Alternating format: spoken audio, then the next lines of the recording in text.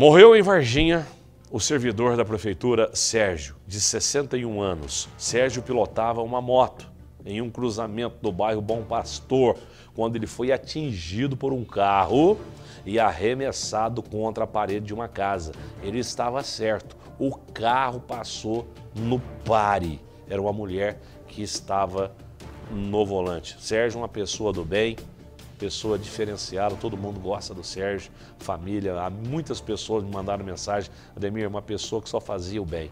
Infelizmente, perdeu a vida e aqui foi imprudência, o que matou ele foi uma imprudência, que a moça não respeitou o sinal de pare. Põe no ar.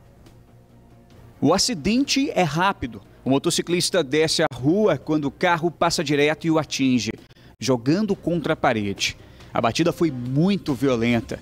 Agora repare no pedestre que por pouco não se torna vítima. A frente do carro ficou destruída, partes da moto ficaram espalhadas pelo chão.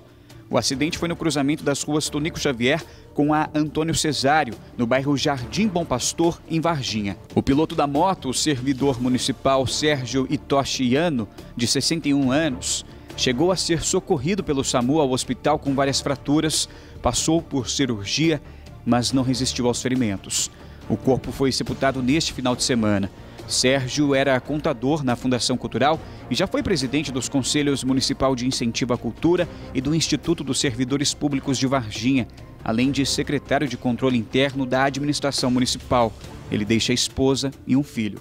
Testemunhas confirmaram à Polícia Militar que a motorista não respeitou essa sinalização aqui de parada obrigatória, atingindo a moto e arremessando o piloto violentamente contra a parede dessa casa aqui.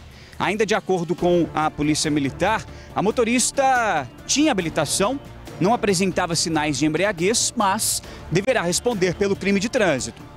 Ainda de acordo com a polícia, a condutora de 62 anos estava muito nervosa e recusou atendimento médico. Ela alegou aos militares que não viu a sinalização e não se lembrava de nada após o acidente. Assustei, porque eu cheguei, eu vi os arranhão aqui no muro, a mancha de sangue aqui no chão, né? A pessoa caiu aí.